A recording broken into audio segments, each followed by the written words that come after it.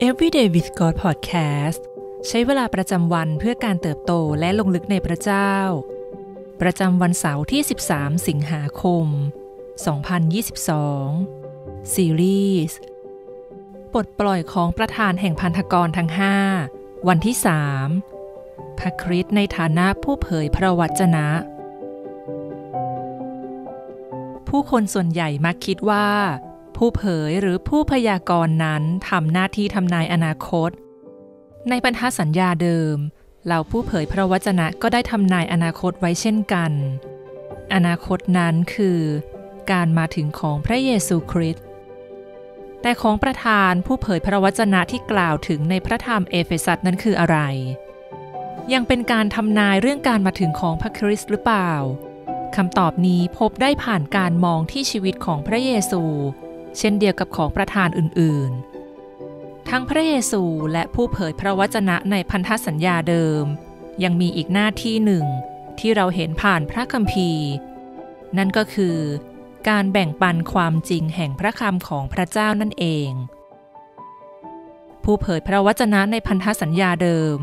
มักจะเปิดเผยให้ผู้คนตระหนักว่า พวกเขาตกไปจากมาตรฐานบัญญัติของพระเจ้า พวกเขาละเลย หลงลืม และหลายครั้งก็กบฏต่อพระองค์ การเผยพระวจนะแห่งความจริงนี้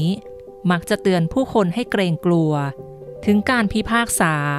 และความพินาศที่ใกล้เข้ามา เมื่อพวกเขาไม่เชื่อฟังพระเจ้า และไม่ยอมกลับใจ ในกิจการบทที่ 3 ข้อที่ 22ถึง23 โมเสสได้กล่าวไว้ว่า พระเจ้าของท่านทั้งหลายจะประทานผู้เผยพระวจนะคนหนึ่ง เหมือนอย่างเราแก่พวกท่านจากพี่น้องของพวกท่านเอง ท่านทั้งหลายจงเชื่อฟังผู้นั้น ในทุกสิ่งที่พระองค์จะตรัสกับพวกท่าน ถ้าคนหนึ่งคนใดไม่เชื่อฟังผู้เผยพระวจนะผู้นั้น เขาจะต้องถูกตัดขาดให้พินาศไปจากชนชาติของพระเจ้า พระคริสต์ทรงปลดปล่อยเราจากการพิพากษาและโทษแห่งความตาย มื่อเราเชื่อวางใจพระองค์ และรับเอาพระคุณของพระองค์ แต่อย่างไรก็ตาม พระองค์ยังทรงปรารถนาให้เราดำเนินชีวิตตามพระบัญญัติของพระเจ้า เพื่อเราจะถวายพระเกียรติแด่พระองค์ และนำผู้อื่นให้ไปถึงข่าวประเสริฐ แต่บ่อยครั้งเรากลับหลงลืมว่า พระคริสต์เองทรงเป็นผู้นั้นที่นำความจริงแท้มาสู่โลกเมื่อนึกถึงของประธานแห่งการเผยพระวจนะ หลายครั้งเรากลับกลัวการลงโทษ แทนที่จะมีใจขอบพระคุณพระเจ้า ของประธานการเผยพระวจนะที่แท้จริงตามอย่างพระคริสต์จะทรงมอบไปยังคนของพระเจ้าด้วยความรัก และความจริงจะช่วยแก้ไขและนำเรากลับมา เมื่อเราหลงห่างจากบัญญัติของพระองค์ พระคริสต์ในฐานะผู้เผยพระวจนะ ทรงสำแดงพระลักษณะดังนี้ พระองค์ทรงชี้ให้ผู้คนเห็นถึงความผิดบาปของตน เผชิญหน้ากับผู้ที่มีใจกบฏและไม่สัตย์ซื่อ โดยเฉพาะผู้ที่ใช้อำนาจในทางที่ผิดดำเนินชีวิตสอดคล้องกับความจริงในพระคำและพระวิญญาณ ท้าทายค่านิยมอย่างโลก และดำเนินชีวิตแตกต่างจากผู้ที่ไม่ได้ติดตามพระคริสต์ในมัทธิวบทที่ 5 ข้อที่ 17 กล่าวว่า อย่าคิดว่าเรามาล้มเลิกธรรมบัญญัติ และคำของบรรดาผู้เผยพระวจนะ เราไม่ได้มาล้มเลิก แต่มาทำให้สมบูรณ์ทุกประการ สิ่งที่ต้องใคร่ควรในวันนี้ จากประสบการณ์ พระคริสต์ได้ทรงสำแดงความจริงของพระเจ้าแก่ชีวิตเรา